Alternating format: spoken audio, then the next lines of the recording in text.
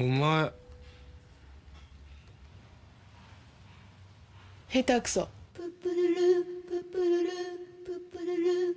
成瀬歌は言葉を覚える前に楽譜が読めた。ピアノが弾けた。なんでピアノ弾けたの？私。あなたにはその才能があるんです。僕頑張ります。ピアノ好きなんです。好きなだけじゃダメなんだよ。もし大学受かんなかったらどうするの？あの八百屋継ぐ。そこは。こバーって感じ。黙って。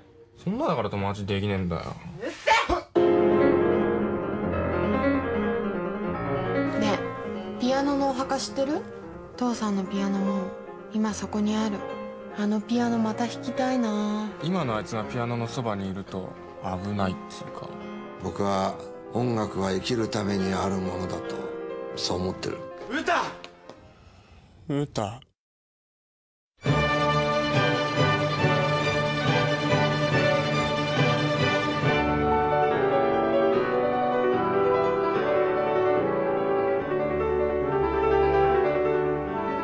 父さんはさ音楽のままでいたかったんだよ。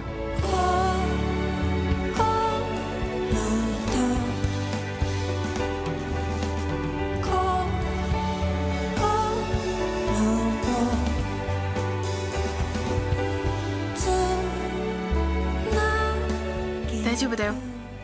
私は音楽だから。